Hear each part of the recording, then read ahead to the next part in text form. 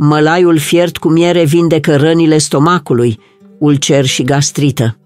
Mălaiul fiert este unul din cele mai emblematice preparate ale gastronomiei românești. Mămăliga a fost folosită de-a lungul timpului nu doar ca aliment, ci și ca remediu. Sunt binecunoscute cataplasmele cu fiertura de mălai sau mămăliga caldă, aplicate pe piept pentru tratarea răcelilor.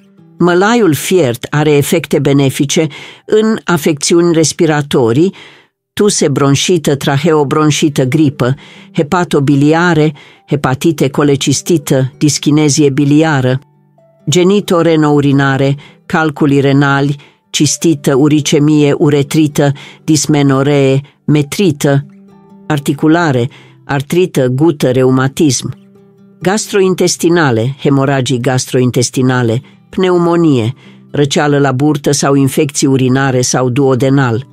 Reduce aciditatea stomacală și exercită un efect calmant și sedativ.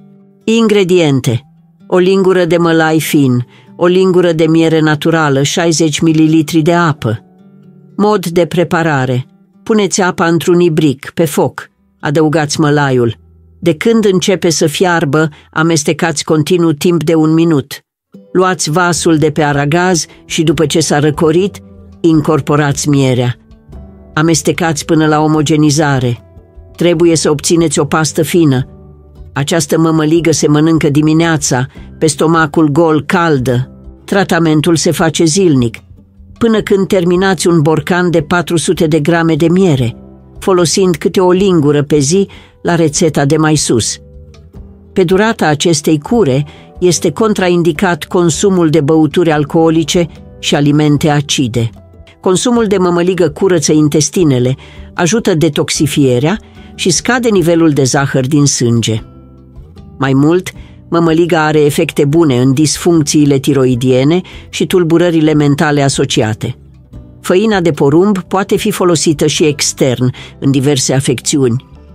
Are efecte antiinflamatoare, calmante, hemostatice, regeneratoare și emoliente la nivelul tegumentelor. Dr. Pârvu notează utilizările sale în răceli, amigdalită, junghiuri, dureri reumatice, crampe stomacale, dureri de ficat și impetigo. În toate aceste cazuri se aplică pe zona afectată cataplasme cu mămăligă fierbinte. Mălaiul crud, amestecat cu apă cât să rezulte o pastă, se pune pe umflături, plăgi, dermatite și mușcături.